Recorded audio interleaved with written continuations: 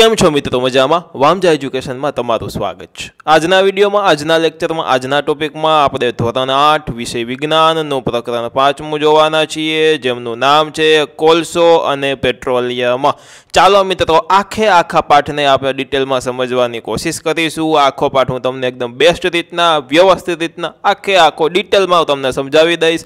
તેની મારી ગેરંટી છે. લાઇક શેર સબસ્ક્રાઈબ તમે તમારી રીતના જોઈ લેજો. ચાલો શરૂઆત કરીએ. તો કે મિત્રો આપણી પાયાની જરૂરિયાતો માટે આપણે જુદા જુદા પદાર્થો વાપરીએ છીએ. મિત્રો સૌપ્રથમ આનું નામ જોઈ લઈએ, કોલસો અને પેટ્રોલિયમ. આ કોલસો અને પેટ્રોલિયમ છે શું? તો કે આપણને સૌને ખ્યાલ છે કે આ એક જાતના ઈંધણો છે. ઈંધણો એટલે કેવી રીતના? તો કે મિત્રો, કોલસાનો ઉપયોગ આપણે રેલગાડી એટલે કે ટ્રેન ચલાવવા માટે, જે જૂની ટ્રેનો આવતી હતી તે ચલાવવા માટે કરીએ. ત્યારબાદ મિત્રો તેમાંથી ગરમી પેદા કરીને આપણું તાપ વિદ્યુત મથકમાંથી ભઠ્ઠી આપણે ચલાવી અને વિદ્યુત ઉત્પન્ન કરી શકીએ છીએ. જ્યારે પેટ્રોલિયમનો ઉપયોગ, તો કે મિત્રો પેટ્રોલિયમમાં ઘણી બધી વસ્તુ આવે, જેમ કે પેટ્રોલ, ડીઝલ, ઓઇલ, બરાબર, જેમ કે પેટ્રોલિયમ વાયુ છે તે, આ ઘણી બધી વસ્તુ આવે. તેનો ઉપયોગ ક્યાં કરીએ? તો કે પેટ્રોલ, ડીઝલનો આપણે વાહનોમાં ઉપયોગ કરીએ, ત્યારબાદ બીજી દરેક વસ્તુનો અલગ અલગ જગ્યાએ ઉપયોગ થતો હોય. તેમાંના કેટલાક કુદરતમાંથી મળી આવે છે અને કેટલાક માનવ પ્રયત્નોથી બનેલા છે. શું છે? તો કે અમુક કુદરતમાંથી મળે છે, તો અમુક માનવ પ્રયત્નોથી, એટલે કે માનવ સર્જિત છે. ઓકે, આગળ જોઈ લઈ. શું? તો કે મિત્રો, પાયાની જરૂરિયાતો માટે આપણે અલગ અલગ વસ્તુ વાપરીએ છીએ તે. એમાં સૌ પ્રથમ પ્રવૃત્તિ પાંચ પોઈન્ટ એક કરીએ. તો મિત્રો અહીંયા રોજિંદા જીવનમાં વપરાતા વિવિધ પદાર્થોની યાદી બનાવો તથા તેને કુદરતી અને માનવ સર્જિતમાં વર્ગીકરણ કરો. તો કે મિત્રો આપણે રોજિંદા જીવનમાં શું શું વાપરીએ? તો કે સવારે ઉઠીએ ત્યારથી લઈને સાંજના સૂઈએ ત્યારે શું શું વાપરવામાં આવે? અને તેનું તમારે કુદરતી અને માનવ સર્જિતમાં વર્ગીકરણ કરવાનું છે. કુદરતી એટલે કેવી? તો કે જે કુદરતમાંથી મળી આવે છે. માનવ સર્જિત એટલે કેવી? તો કે મનુષ્ય દ્વારા બનાવવામાં આવે છે તે કુદરતી. બરાબર બરાબર. ઓકે. દાખલા તરીકે દાખલા તરીકે શરૂઆત કરીએ. શરૂઆત કરીએ કે હું સૌથી પહેલાં ઉઠીને બ્રશ કરું છું. બરાબર? ક્યારેક બ્રશ કરું છું ને ક્યારેક દાંતન કરું છું. તો બ્રશ કરું છું ત્યારે હું ઉપયોગ કરું કોલગેટનો કેનો કોલગેટનો. તો કોલગેટ છે એ માનવ સર્જિત છે, મનુષ્યએ બનાવેલી છે. જ્યારે દાંતણ છે, દાંતણ એ શું છે? તો કે કુદરતી વસ્તુ છે. બરાબર, હું કુદરતી દાંતણનો ઉપયોગ કરું. દાંતણ એટલે શું? તો કે જાતની દાળી બરાબર? આગળ જોઈ લઈ શું તે યાદીમાં હવા, પાણી, જમીન અને ખનિજોનો સમાવેશ થાય છે? તો કે હા, હવાનો ઉપયોગ ક્યાં કરીએ? તો કે આપણે સેકન્ડે સેકન્ડે શ્વાસ લેવા માટે પહેલાં તો હવાનો ઉપયોગ કરીએ. બીજી ઘણી બધી વસ્તુઓ માટે હવાનો ઉપયોગ કરતા હોઈએ છીએ. પાણી. બરાબર? સજીવનું તમને ખબર છે કે ત્યારે જ જીવી શકીએ, જ્યારે જે પાણી પીએ, એટલે કે પાણી દરેક સજીવ માટે અગત્યનું છે. પાણી ન હોય તો સજીવ સુસ્તી નાશ પામે. ઓકે.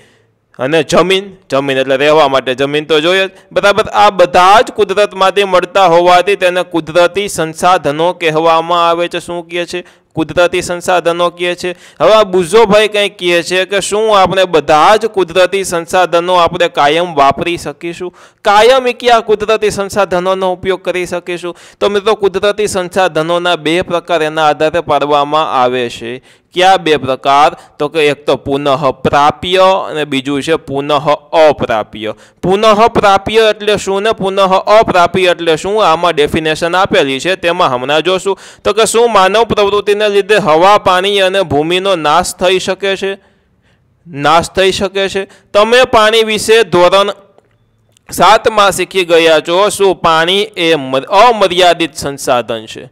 પાણી એ અમર્યાદિત છે એટલે એની કોઈ મર્યાદા છે? અમે તો પુનઃ પ્રાપ્ય અને પુનઃ અપ્રાપ્યનો અર્થ જોવો. પુનઃ પ્રાપ્ય એટલે કે ફરી પાછું આપણે ફટાફટ આપણને મળે અને પુનઃ અપ્રાપ્ય એટલે કે તે એક સમય એવો આવે કે જે ખૂટી જાય. પૂરું થઈ જાય, એને પુનઃ અપ્રાપ્ય કહેવાય. ઓકે, બધા જ સંસાધનોને કુદરતમાં પ્રાપ્તતાને આધાર ધ્યાને રાખીને કુદરતી સંસાધનોને બે જૂથમાં વેચી શકાય છે. પહેલું છે પુનઃ પ્રાપ્ય, બીજું છે પુનઃ અપ્રાપ્ય કુદરતી સંસાધનો. ઓકે, આ સંસાધનોને કુદરતમાં અમર્યાદિત જથ્થામાં રહેલા હોય છે અને માનવ પ્રવૃત્તિઓ દ્વારા તે ખલાસ થાય તેમ નથી. શું અમર્યાદિત જથ્થામાં છે? જેમ કે સૂર્યપ્રકાશ કોઈ દિવસ ખતમ થાય નહીં. મનુષ્ય ગમે એટલા સૂર્યપ્રકાશ વાપરે, પરંતુ તે ખતમ થવાનો છે. નથી થવાનો, બીજી સવાર આવવાની છે સૂર્ય દ્વારા સૂર્યપ્રકાશ આવવાનો છે તે કોઈ દિવસ ખતમ થવાનો નથી. બીજું છે હવા. હવા મનુષ્ય દ્વારા ખતમ થાય, ન થાય. બરાબર? હવે આનું જ ઊંધું. અમુક વસ્તુ એવી જે ખૂટી જાય. આવા સંસાધનોનું પ્રમાણ કુદરતમાં મર્યાદિત હોય છે, એટલે કે ખૂટી જાય તેવું હોય છે અને તેઓ માનવ પ્રવૃત્તિ દ્વારા ખલાસ થઈ થઈ શકે તેમ છે. અને આવા સંસાધનોના ઉદાહરણમાં જંગલો, વન્યજીવો, ખનિજો, કોલસો, પેટ્રોલિયમ, કુદરતી વાયુ વગેરેનો સમાવેશ કર, થાય છે. આ વગેરે વસ્તુઓનો સમાવેશ આની અંદર થઈ શકે છે. ઓકે મિત્રો, આગળ જોઈ લઈએ આપણે. પ્રવૃત્તિ પાંચ પોઈન્ટ બે જોશું. કઈ? તો કે પ્રવૃત્તિ પાંચ પોઈન્ટ બે જોઈએ. તો કે આ જૂથ પ્રવૃત્તિ છે. આ પ્રવૃત્તિ કોઈ એકલાથી થાય એવી નથી. આખા જૂથ દ્વારા કરવામાં આવતી પ્રવૃત્તિ છે કે થોડું પાત્રો લો અને તેને પોપકોર્ન થોડાક પાત્ર લેવાના છે. એમાંથી અમુકમાં પોપકોર્ન અમુકમાં સિંકદાના શેકેલા ચણા, ચોકલેટ વગેરેથી ભરી દો આ હા હા કેવી ખાવાની મજા આવે. વિદ્યાર્થીઓને સાતના જૂથમાં વેચો, સાત જૂથમાં વેચવાના છે દરેક જૂથના વિદ્યાર્થીઓને પેટા જૂથમાં એક, બે અને ચાર એમ વેચો. શું પેટા જૂથમાં? એટલે કે દરેક સાત સાતની ટીમ પાડવાની છે?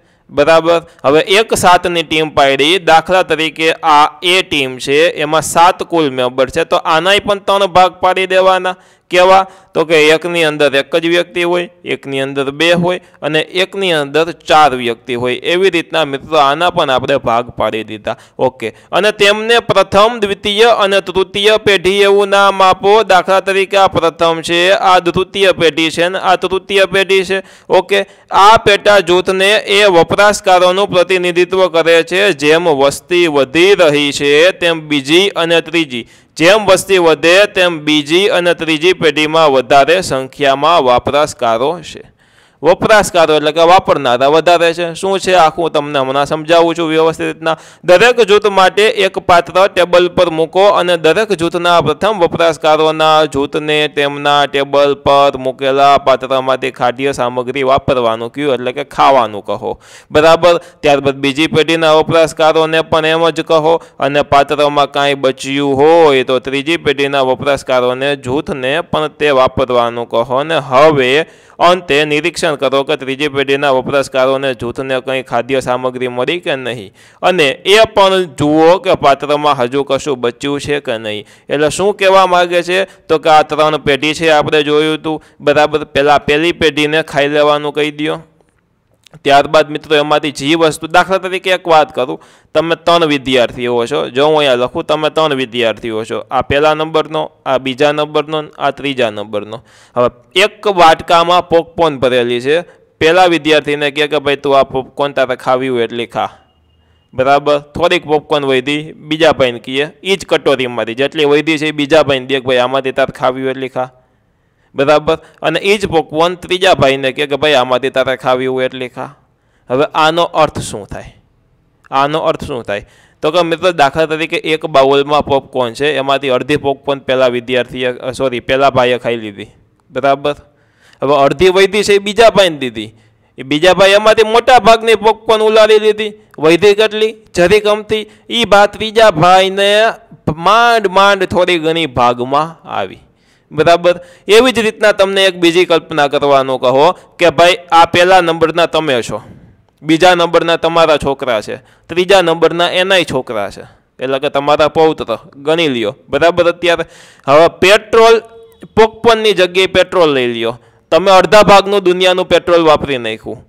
વૈધું અડધા ભાગનું. આ બીજી પેઢી એવી એટલે કે તમારા છોકરા એવા એના મોટા ભાગનું એમાંથી પેટ્રોલ વાપરી નાખ્યું. પછી આવે ત્રીજી પેઢી, આ ત્રીજી પેઢી એવી. હવે એના પગમાં જરી ગમતું પેટ્રોલ વધશે એ વાપરશે કે પ્રયોગશાળામાં રાખશે કે શું કરશે અને પેટ્રોલ નહીં હોય તો એની જિંદગીનું શું થશે, આવી વસ્તુ આમાં સમજાવવામાં આવી રહી છે. ઓકે આગળ જોઈએ હવે કે હવે અનુમાન કરો કે પાત્રોમાં રહેલી ખાદ્ય સામગ્રી પુનઃ અપ્રાપ્ય સંસાધનો જેવા કે કોલસો, પેટ્રોલિયમ અને કુદરતી વાયુનો સંપૂર્ણ પ્રાપ્ય જથ્થો દર્શાવે છે. શું પુનઃ અપ્રાપ્ય સંસાધનોનો જથ્થો દર્શાવે છે? દરેક જૂથની વપરાશ વપરાશની પદ્ધતિઓ જુદી જુદી હોઈ શકે. શું કોઈ પણ જૂથમાં આગળની પેઢી ખૂબ લાલચુ હતી?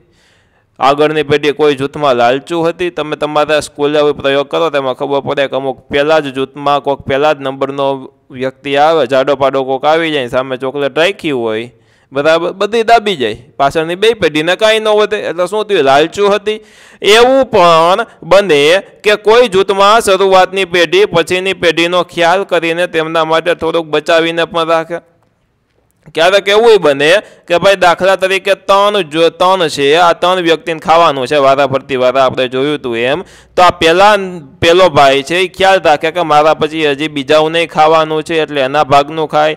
પછી આ ખ્યાલ રાખે કે મારા પછી હજી એકને ખાવાનું છે, અને આ ખાય તો બધાને સરખા પ્રમાણમાં મળે. એટલે કે શું? એમના પછીની આવનારી પેઢીઓનો શું તેમને ખ્યાલ રાખ્યો? આ પ્રકરણમાં આપણે કેટલાક પુનઃ અપ્રાપ્ય એટલે કે ખૂટી જાય તેવા કુદરતી સંસાધનો જેવા કે કોલસો, પેટ્રોલિયમ અને કુદરતી વાયુ વિશે આપણે અભ્યાસ કરવાનો છે. કેવા? તો કે ખૂટી જાય તેવા. ઓકે. તે સજીવોના મૃતદેહોના અવશેષો એટલે કે અશ્મિ એટલે કે ફોસિલમાંથી બનેલા છે. કેમાંથી? તો કે અશ્મિભૂત બળતણ તેમને કહેવાય. આપણે જોયું હતું, અશ્મિઓમાંથી બનેલા હોય છે. એટલે જ તે બધાને અશ્મિભૂત બળતણ કે અશ્મિ બળતણ એટલે કે ફોસિલ ફ્યુલ તરીકે પણ ઓળખવામાં આવે છે. શું છે? તો કે મૃતદેહોના અવશેષોમાંથી તેમનું વિઘટન થાય. વિઘટન થવું એટલે કે તેનું સરવું અને તેમાંથી મિત્રો આ બધા બળતણો બનતા હોય છે. ઓકે, પાંચ પોઈન્ટ એક જોશું. શું છે? તો કે કોલસો. કોલસાને ઇંગ્લિશમાં કોલ કહેવામાં આવે. સી ઓ એ એલ યાદ રાખજો. તો કે તમે કોલસાને જોયો હશે અથવા તો તેના વિશે સાંભળ્યું હશે. આકૃતિ પાંચ પોઈન્ટ એક તે પથ્થર જેવા કાળા રંગનો સખત હોય છે. કેવો હોય? પથ્થર જેવો કાળા કલરનો સખત કોલસો હોય છે. બરાબર? અહીંયા કોલસાનું ચિત્ર તમે જોઈ શકો છો. આ આકૃતિ પાંચ પોઈન્ટ એક કોલસાની આકૃતિ છે. આગળ જોઈશું. રસોઈ માટે વપરાતા બળતણોમાં કોલસો પણ એક બળતણ છે. શું છે? એક જાતનું બળતણ જ છે અને શરૂઆતમાં તે રેલવે એન્જિન ચલાવવા માટે તેમાં વરાળ ઉત્પન્ન કરવા વપરાતો હતો. શું રેલવે એન્જિન ચલાવવા માટે વરાળ ઉત્પન્ન કરવા માટે સ્ટાર્ટિંગમાં તે વપરાતો હતો? તે તાપ વિદ્યુત મથક એટલે કે થર્મલ પાવર સ્ટેશન એટલે કે જ્યાંથી વિદ્યુત પેદા કરવામાં આવે છે, તેની અંદર તે વિદ્યુત ઉત્પન્ન કરવા માટે વપરાય છે અને કોલસો ઘણા બધા ઉદ્યોગોમાં બળતણ તરીકે વપરાય છે. ઘણા બધા ઉદ્યોગોની અંદર બળતણ તરીકે તે વાપરવામાં આવે છે. કોલસાની એક વાર્તા છે જેને સ્ટોરી ઓફ કોલ ઇંગ્લિશમાં કહેવાય ને તે આપણે જોઈ પહેલી બેન પહેલાં કંઈક વિચારી રહ્યા છે. ચાલો તે જોઈ લઈ તો કે આપણે કોલસો ક્યાંથી મળે છે અને તે કઈ રીતના બને છે એવું પહેલી બેન વિચારે છે. ચાલો આપણે જોઈ લઈ વાર્તા. લગભગ ત્રણ હજાર મિલિયન વર્ષ પહેલાં. હવે કોક એમ કહે કે મિલિયન એટલે શું? તો કે એક મિલિયન બરાબર દસ લાખ. કેટલા થાય? દસ લાખ. એક મિલિયન એટલે કે દસ લાખ થાય. આવી રીતના ત્રણસો મિલિયન, ત્રણ હજાર નહીં સોરી ત્રણસો મિલિયન વર્ષ પહેલાં. કેટલા? ત્રણસો મિલિયન વર્ષ પહેલાં પૃથ્વી પર નીચાણવાળા ભેજયુગ વિસ્તારોમાં ગીચ જંગલો હતા. હવે તમારે કહેવાનું છે કે ત્રણસો મિલિયનને લાખમાં લખવું હોય તો ત્રણની પાછળ કેટલા મિનિટ આવે? કોમેન્ટમાં એકવાર કોમેન્ટ કરીને જણાવો. શું હતું? ગગીચ જંગલો હતા. પૂર જેવી કુદરતી આફતોને કારણે આ જંગલો જમીનની નીચે દટાઈ ગયા. પૂર જેવી કુદરતી આફતો આવી, એના કારણે આ જંગલો હતા. જમીનની નીચે દટાઈ ગયા. ત્યાં સરો થયો, કોહવાટ પામ્યો સૈરા અને એની અંદરથી આપણને આ બધી વસ્તુ મળી. તેમની ઉપર માટી જમા થવાથી અને દબાણમાં આવ્યા અને ઊંડે ને ઊંડે જવાને લીધે તેની તાપમાનમાં વધારો થતો ગયો. જેમ જમીનની ઊંડાઈએ જાઓ નીચે જાઓ તેમ તાપમાનમાં વધારો થાય. શિયાળામાં હજી બોરમાંથી કાઢેલું પાણી અડો તો થોડું ઘણું ગરમ હશે, તમને ખ્યાલ હોય તો. બરાબર, ઊંચા દબાણ અને તાપમાનને લીધે મૃત વનસ્પતિઓ ધીરે ધીરે કોલસામાં ફેરવાતી ગઈ અને કોલસામાં મુખ્યત્વે શું હોય? તો કે કાર્બન હોવાથી મૃત વનસ્પતિના કોલસામાં ધીમા રૂપાંતરણની પ્રક્રિયા પ્રક્રિયાને કાર્બોનાઇઝેશન કહે છે. શું? તો કે એમાં મુખ્યત્વે કાર્બન રહેલો છે. શું છે? તો કે કાર્બન રહેલો છે. અને આની પ્રક્રિયાને કાર્બોનાઇઝેશન પ્રક્રિયા કહે છે. તમારે યાદ રાખવાનું છે. વનસ્પતિના અવશેષોમાંથી બન્યું હોવાને લીધે એ કોલસાને અશ્મિ બળતણ પણ કહેવામાં આવે છે. કે અશ્મિ બળતણ અથવા તો અશ્મિભૂત બળતણ કહીએ. આકૃતિ પાંચ પોઈન્ટ બેમાં કોલસાની ખાણ દર્શાવેલી છે. કે નહીં? તો કે કોલસાની ખાણ દર્શાવેલી છે. અહીંયા તમે આકૃતિમાં કોલસાની ખાણ જોઈ શકો છો. સતકી ન દેખાય તો તમારી ટેક્સ્ટબુકમાં પણ કોલસાની ખાણ દર્શાવેલી છે. ઓકે આગળ જોશું. તો કે જ્યારે કોલસાને હવામાં ગરમ કરવામાં આવે, ત્યારે કોલસો સળગે છે. હવામાં ગરમ કરવામાં આવે, ત્યારે શું થાય? તો કે કોલસો શું થાય? તો કે કોલસો સળગે છે. ઓકે અને મુખ્યત્વે કાર્બન ડાયોક્સાઇડ વાયુ તેમાંથી ઉત્પન્ન થાય છે. કયો વાયુ? તો કે કાર્બન ડાયોક્સાઇડ. જેનું સૂત્ર અણુસૂત્ર આપણે સીઓ ટુ તરીકે પણ લખી શકીએ. કાર્બન ડાયોક્સાઇડ વાયુ ઉત્પન્ન કરે છે અને કેટલાક ઉપયોગી ઉત્પાદનો જેવા કે કોક, કોલટાર અને કોલ ગેસ મેળવવા માટે ઉદ્યોગોમાં કોલસાની ઉપર પ્રક્રિયા કરવામાં આવે છે. કેની ઉપર? તો કે કોલસાની ઉપર જ પ્રક્રિયા કરવામાં આવે છે. વાત કરીએ કોક. સી ઓ કે ઈ આ કોક એટલે ઓલી થમ્સઅપ ને કોક કોકા કોલા એ નહીં કોક એટલે કોલસાનું કોક. બરાબર તે સખત છિદ્રારું અને કાળા રંગનો પદાર્થ છે સખત છે એટલે કઠણ છે. છિદ્રારું છે એટલે કે અંદરથી પોલો છે આમ છિદ્રો છિદ્રોવાળો છે. બરાબર તે કોલસાનો લગભગ સંપૂર્ણ શુદ્ધ પ્રકાર છે. સૌથી શુદ્ધ કોલસો તો ન કહેવાય પરંતુ લગભગ શુદ્ધ પ્રકાર છે. કોકનો ઉપયોગ સ્ટીલના ઉત્પાદનમાં અને કેટલીક ધાતુઓના નિષ્કર્ષણમાં વપરાય છે. હવે ધાતુનું નિષ્કર્ષણ એટલે શું તમે કહેશો તો કે તે આપણે અગાઉના ધોરણમાં, ધોરણ દસમાં એમાં નિષ્કર્ષણ વિશે આપણે વધારે શીખશું. તે યાદ રાખી લેવાનું. જોઈએ coal tar C O A L T A R તે કાળું, ઘટ્ટ તથા અણગમતી વાસવાળું, ખરાબ વાસવાળું પ્રવાહી છે. આકૃતિ પાંચ પોઈન્ટ ત્રણમાં તે લગભગ બસો જેટલા પદાર્થોનું મિશ્રણ છે. કેટલા? તો કે બસો જેટલા પદાર્થોનું મિશ્રણ છે અને અહીંયા કોલ્ટારનું ચિત્ર તમે જોઈ શકો છો. ઓકે.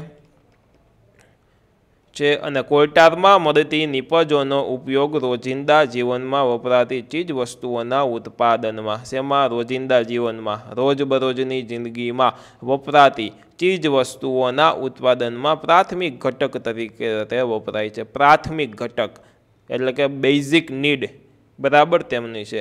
અને ઉદ્યોગો જેવા કે સંશ્લેષિત રંગો, દવાઓ, વિસ્ફોટકો, સુગંધિત દ્રવ્યો પરફ્યુમ્સ પ્લાસ્ટિક પેન્ટ્સ ફોટોગ્રાફિક પદાર્થો તથા છત બનાવવા માટેના પદાર્થો વગેરેમાં તે વાપરવામાં આવે છે. અને રસપ્રદ વાત એ છે કે ફૂદા અને જીવાતોને દૂર રાખવા માટે વપરાતી ડામરની ગોળી પણ કોલ્ટારમાંથી જ બને છે. ઓલી ડામરની ગોળી કબાટમાં મૂકી હોય, સફેદ કલરની ખબર હોય તો બરાબર એ આ કોલ્ટારમાંથી જ બને છે. અમુક વધારાની માહિતી છે, આજકાલ કોલ્ટારને બદલે પેટ્રોલિયમની જ એક પેદાશ એટલે કે બિટુમિનનો ઉપયોગ રોડ બનાવવા માટે થાય કે એનો બિટુમિનનો ઉપયોગ. હવે મિત્રો વાત કરવાની છે કોલ ગેસ બરાબર કોલસામાંથી કોક બનાવવાની પ્રક્રિયા દરમિયાન, કોલસામાંથી શું બનાવવાની, કોક બનાવવાની પ્રક્રિયા દરમિયાન એક વાયુ ઉત્પન્ન થાય, એક ગેસ ઉત્પન્ન થાય, બરાબર?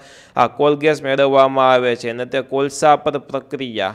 હવે અહીંયા અમુક વધારાની માહિતી આપી, તે જોઈ લઈ. તો કે સૌ પ્રથમ વાર એક હજાર આઠસો ને દસમાં લંડનમાં તથા એક હજાર આઠસો ને વીસની આસપાસ ન્યુયોર્કમાં રસ્તા પરની લાઇટ માટે કોલ ગેસનો ઉપયોગ થતો હતો. આજકાલ તેને પ્રકાશના સ્ત્રોત તરીકે વાપરવા કરતાં ઉષ્માના સ્ત્રોત તરીકે વાપરવામાં આવે છે. પ્રકાશનો સ્ત્રોત એટલે કે જેમાંથી પ્રકાશ મળે, ઉષ્માનો સ્ત્રોત એટલે કે જેમાંથી આપણને ગરમી મળે.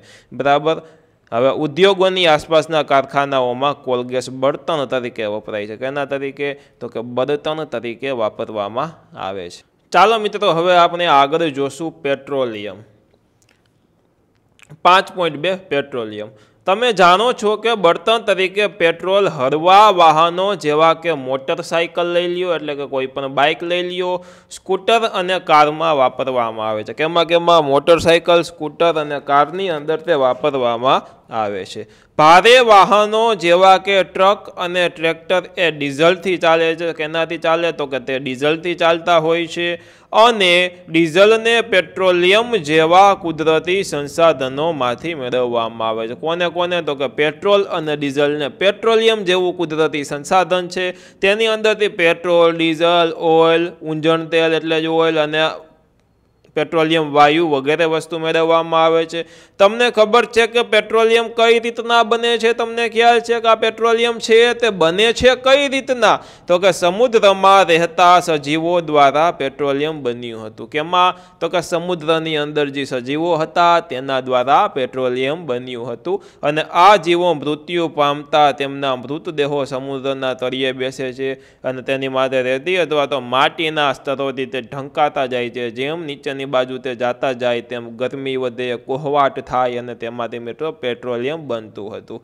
બરાબર? ઢંકાતા જાય છે અને લાખો વર્ષ પછી હવાની ગેરહાજરીમાં તથા ઉચ્ચ તાપમાન અને દબાણને લીધે મૃત જીવો પેટ્રોલિયમ અને કુદરતી વાયુમાં ફેરવાયા ફેરવાયા. કેમાં? તો કે પેટ્રોલિયમ વાયુમાં અને પેટ્રોલિયમ અને કુદરતી વાયુની અંદર તે ફેરવાયા. ઓકે.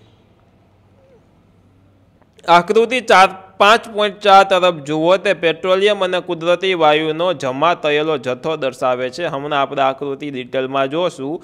તમે જોઈ શકો છો કે પેટ્રોલિયમ અને કુદરતી વાયુ ધરાવતું સ્તર પાણીના ઉપરના ભાગે છે, એટલે કે પાણીથી ઉપરના ભાગે તે છે. આવું કેમ છે? યાદ કરો કે તેલ અને વાયુ એ પાણી કરતાં હલકા છે. કેવા છે? હલકા છે અને તેની સાથે મિશ્ર થતા નથી. શું તેલ અને વાયુ છે એ પાણી કરતાં હલકા હોય અને તે પાણીની ઉપરની સપાટીમાં તરે અને તેની સાથે તે મિશ્ર થાય નહીં, ભેગા થાય નહીં. અમુક જાણવા જેવી માહિતી આપી છીએ અહીંયા, તે જોઈ લઈ. તો કે દુનિયાનો સૌ પ્રથમ તેલનો કૂવો અઢારસો ને ઓગણસાઠમાં અમેરિકાના પેન્સિલ્વેનિયામાં ખોદવામાં આવ્યો હતો અને આઠ વર્ષ બાદ અઢારસો ને સડસઠમાં અસમના માકુમમાં પણ તેલ કાઢવામાં આવ્યું હતું. ભારતમાં આસમ, ગુજરાત, બોમ્બે બોમ્બે હાઈ અને ગોદાવરી તથા ક્રિષ્ના નદીના તટ પ્રદેશોમાંથી મિત્રો તેલ મળી આવે છે. પેટ્રોલિયમનું શુદ્ધિકરણ વિશે વાત કરીએ, પેટ્રોલિયમનું શુદ્ધિકરણ, તો પેટ્રોલિયમ એ ઘેરું તેલી પ્રવાહી છે, તે અણગમતી વાસ ધરાવે છે. કેવું? ઘેરા કલરનું તેલી પ્રવાહી છે અણગમતી વાસ ધરાવે છે, તમને ખબર જ હોય. અને તે ઘણા બધા ઘટકો જેવા કે પેટ્રોલિયમ, એના પછી આગળ જોશું, આકૃતિ જોવી મોસ્ટ આઈએમપી છે, જરૂરી છે તો જોઈ લઈ તો કે પાંચ પોઈન્ટ ચાર આકૃતિ, પેટ્રોલિયમ અને કુદરતી વાયુનો જમા થયેલો જથ્થો છે. બરાબર? ભંડાર છે. અહીંયા તમે જોઈ શકો છો આકૃતિ આકૃતિમાં તો કે મિત્રો અહીંયા આવી રીતના તેલનો કૂવો બનાવેલો છે, અહીંયા ત્યાં તેલનો કૂવો બનાવેલો છે, એમાં ઉપરના ભાગે અહીંયા ખાલી જગ્યા હોય, એમાં વાયુ આવેલું હોય. બરાબર? અહીંયા ઉપરની સાઈડ તેલ હોય, કારણ કે તે પાણી કરતાં હલકું હોય અને હવામાં તરે અને અહીંયા પાણી છે. બરાબર? અહીંયા ભંડાર એટલે કે ખડક પણ તમે આને કહી શકો છો, આવું જે લીટા લીટા છે, આ જે એ ખડકોના છે. અહીંયા વચ્ચે જગ્યા આવેલી છે, તેની અંદર પાણી તેલ, વાયુ તમે આવી રીતના ત્રણ સ્તર જોઈ શકો છો. પહોંચ્યા છીએ ક્યાં? તો કે તે ઘણા બધા ઘટકો જેવા કે પેટ્રોલિયમ, વાયુ, પેટ્રોલ, ડીઝલ ઊંજણ તેલ તથા મીન વગેરેનું મિશ્રણ છે. અહીંયા પાંચ પોઈન્ટ પાંચ આકૃતિમાં જોઈ લ્યો. પેટ્રોલિયમની રિફાઇનરીનું એક ચિત્ર અહીંયા આપણને દેખાઈ રહ્યું છે. પેટ્રોલિયમના વિવિધ ઘટકો ભાગોને અલગ કરવાની પ્રક્રિયાને શુદ્ધિકરણ કહે છે. શુદ્ધિકરણ એટલે કે રિફાઇનિંગ કરવું. શુદ્ધિકરણ કરવું અને તે પેટ્રોલિયમ રિફાઇનરીમાં કરવામાં આવે છે. પેટ્રોલિયમની રિફાઇનરી હોય તેની અંદર કરવામાં આવે છે. હવે દરેક વસ્તુને અલગ કેવી રીતના પાડવામાં આવે, આ બધી વસ્તુ આપણે અગાઉના ધોરણમાં ભણશું. તેમના તાપમાનો ઉપર ઉત્કલન બિંદુ, ગલન બિંદુ વિશે તમને પહેલાં સમજાવવામાં આવશે પછી આ વસ્તુ તમને સમજાવવામાં આવશે. પેટ્રોલિયમના તેના વિવિધ ઘટકો અને તેના ઉપયોગોને કોષ્ટક પાંચ પોઈન્ટ એકમાં દર્શાવેલા છે. કોષ્ટક પાંચ પોઈન્ટ એક શેનું છે તે જોઈ લઈ. તો કે પેટ્રોલિયમના વિવિધ ઘટકો અને તેના ઉપયોગો માટેનું આ કોષ્ટક છે. પેટ્રોલિયમના ઘટકો અહીંયા લખેલું છે. અહીંયા ઉપયોગો છે. ઘટકો શું? તો કે પ્રવાહી સ્વરૂપે પેટ્રોલિયમ વાયુ, જેમને એલપીજી આપણે કહીએ છીએ લિક્વિફાઈડ પેટ્રોલિયમ ગેસ. અને આ એલપીજીનો ઉપયોગ ઘરે આવતા બાટલામાં એટલે કે રાંધણ ગેસમાં કરો છો. બરાબર, ઘર અને ઉદ્યોગો માટેના બર્તનમાં તેમનો ઉપયોગ થાય. પેટ્રોલ, તો કે મોટરનું બળતણ, હવાઈ જહાજનું બળતણ, ડ્રાય ક્લિનિક માટે સોલવન્ટ ડ્રાવક ડ્રાય ક્લિનિંગ એટલે શું? તો કે ડ્રાય કરવું, સૂકું કરવું, બરાબર? અને સૂકું કરવાની કોઈ પણ જગ્યા હોય એને ડ્રાય ક્લિનિંગ કહેવામાં આવે. કેરોસીન, તો કે સ્ટવ, દીવા અને જેટ પ્લેનના બળતણ માટે ડીઝલ, તો કે ભારે વાહનો તથા ઇલેક્ટ્રિક જનરેટર માટેનું બળતણ ઊંજણ તેલ, તો કે ઊંઝવા માટે, બરાબર ઊંઝવા માટે કંઈ ઓલો આમ ચૂઈ ચૂઈ અવાજ આવતો હોય, ત્યાં જરીક આપણે ઊંઝણ તેલ નાખી દઈએ, એટલે એ ચૂંઈ ચૂંઈ અવાજ બંધ થઈ જાય. બરાબર, પેરાફિન મીણ, એટલે કે મલમ મીણ, વેલેસ, વેસેલિન વગેરે બનાવવા માટે, વેસેલિન. આપણે વેસેલિન લગાડીએ ને તે જ. અને બિટુમિન એટલે કે રંગો બનાવવા તથા રોડ સમતલ કરવા માટે, સીધું કરવા માટે બિટુમિનનો ઉપયોગ કરવામાં આવે ઓકે, વધારે આપણે જોઈ લઈ. અહીંયા અમુક વધારાની માહિતી આપી છે. આ માહિતી તમે તમારી રીતના વાંચી શકો છો. આપણે જોશું ડાયરેક્ટ પાંચ પોઈન્ટ ત્રણ. એ શું કહે છે? તો કે કુદરતી વાયુ. કુદરતી વાયુ એટલે કે નેચરલ દેશ કુદરતીમાંથી કુદરતમાંથી મળતો વાયુ એટલે કે કુદરતી વાયુ. બરાબર, કુદરતી વાયુ એ ખૂબ જ અગત્યનું અશ્મી બળતણ છે, કારણ કે તેને પાઇપલાઇન દ્વારા વહન કરવો સરળ છે. કેના દ્વારા? તો કે પાઇપલાઇન દ્વારા વહન કરાવવો તે સરળ છે. ઊંચા દબાણ હેઠળ કુદરતી વાયુને દબાણયુક્ત કુદરતી વાયુ એટલે કે કોમ્પ્રેસ નેચરલ ગેસ એટલે કે સીએનજી સીએનજીનો ઉપયોગ આપણે વાહનોમાં કરીએ છીએ. બરાબર તરીકે સંગ્રહ કરવામાં આવે છે અને સીએનજીનો ઉપયોગ વિદ્યુત ઉત્પાદન માટે પણ કરવામાં આવે છે. કેના માટે? તો કે વિદ્યુત ઉત્પન્ન કરવા માટે, વિદ્યુતના ઉત્પાદન કરવા માટે પણ આપણે સીએનજીનો ઉપયોગ કરતા હોઈએ છીએ. આજકાલ તેનો ઉપયોગ વાહન વ્યવહારમાં બળતણ તરીકે થાય છે. કેમાં? તો કે વાહન વ્યવહારની અંદર બળતણ તરીકે કરવામાં આવે છે. કારણ કે તે ઓછું પ્રદૂષણ કરે છે અને તે સ્વચ્છ બળતણ છે. કેવું તો કે સ્વચ્છ એટલે કે ચોખ્ખું તે બળતણ છે.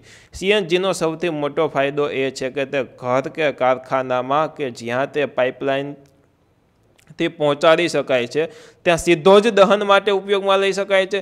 દહન માટે એટલે કે સળગાવન તેમાં અગ્નિ ઉત્પન્ન થાય તેમ દહન માટે તેને સીધો જ ઉપયોગમાં લઈ શકાય છે. ઓકે પાઇપલાઇનની આવી વ્યવસ્થા નેટવર્ક વડોદરા એટલે કે ગુજરાતમાં, દિલ્હીના કેટલાક ભાગ તથા અન્ય સ્થળોએ તમે જોઈ શકો છો. અત્યારે બીજી ઘણી બધી જગ્યાએ રાજકોટ મોટા ભાગમાં પણ મિત્રો આવી પાઇપલાઇનની વ્યવસ્થા થઈ ગઈ છે. ઘણા બધા રસાયણો તથા ખાતરોના ઉત્પાદનમાં પ્રાથમિક ઘટક તરીકે પણ કુદરતી વાયુઓ ઉપયોગમાં વપરાય છે. કેમાં? તો કે અમુક જગ્યાએ પ્રાથમિક ઘટકો તરીકે કુદરતી વાયુ કેમાં કેમાં? તો કે રસાયણો તથા ખાતરો બનાવવામાં, તેમનું ઉત્પાદન કરવામાં ભારતમાં કુદરતી વાયુનો ખૂબ મોટા સંગ્રહ સ્થાનો આવેલા છે. ખૂબ મોટા સંગ્રહ સ્થાનો એટલે કે સંગ્રહ કરી શકાય તેવા જગ્યા આવેલી છે. ભારતમાં તે ત્રિપુરા, રાજસ્થાન, મહારાષ્ટ્ર અને કૃષ્ણા ગોદાવરી નદીના મુખ ત્રિકોણ પ્રદેશમાં કુદરતી વાયુ મળી આવે છે.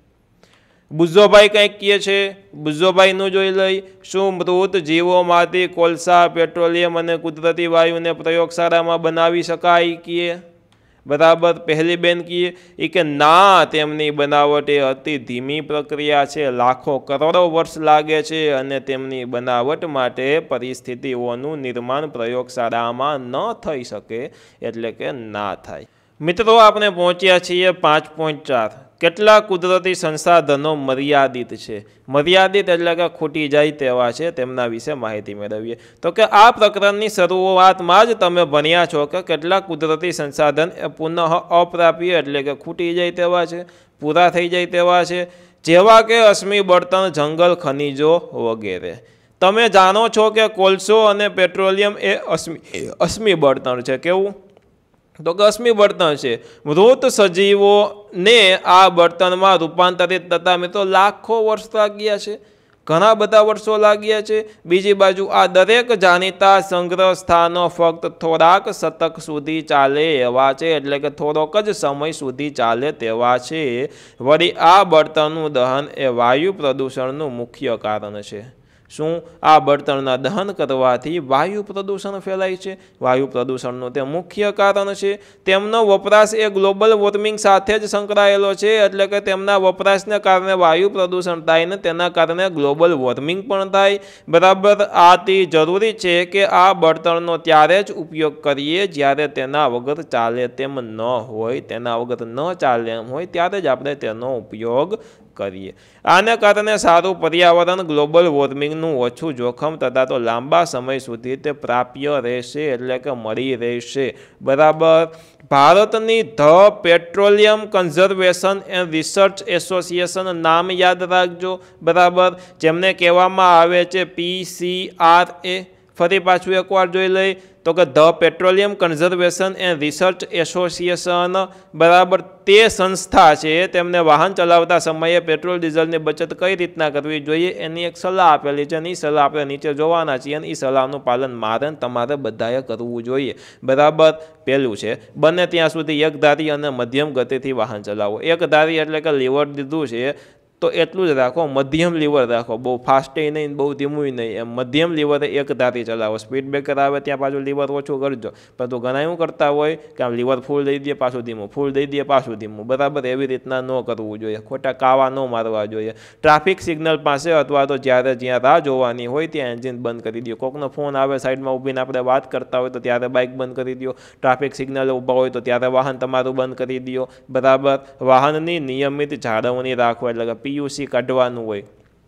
બરાબર પીયુસી એટલે શું થાય? તો કે જોજો પી યુસી એટલે કે પોલ્યુશન અંડર કંટ્રોલ એટલે કે તમારા વાહનના નીકળતા ધુવારા છે એ પોલ્યુશન કંટ્રોલમાં છે કે નથી? તેનું જે સર્ટિફિકેટ હોય તે ફરજિયાત રાખવાનું હોય તે કઢાવીને ચેક કરતા રહ્યો બરાબર? જે કાંઈ વધારે ધુવારા નીકળતા હોય, વધારે પ્રદૂષણ ફેલાતું હોય તો જે કાંઈ સમૂહ કરાવવાનું હોય તો કરાવો. બરાબર, એટલે વાહનની નિયમિત જાળવણી કરો આની સાથે સાથે સરસ મજાનો આપણો આ પાઠ પૂર્ણ થાય છે. આશા રાખું છું કે આપ સૌને આખો પાઠ સમજવામાં ખૂબ જ મજા આવી હશે. વિડીયોની ખાલી તમે ક્વોલિટી જુઓ લાઇક છે સબસ્ક્રાઈબ તમારી રીતના તમને મન થાય તેમ તમારે કરી દેવાનું રહેશે. પરંતુ એક વસ્તુ જરૂરથી કરજો. એ એ છે કે તમારું નામ તમારે કોમેન્ટમાં કરવાનું છે, કહેવાનું છે. કારણ કે તમે મને તો ઓળખો છો, પરંતુ મારે તમને ઓળખવા છે.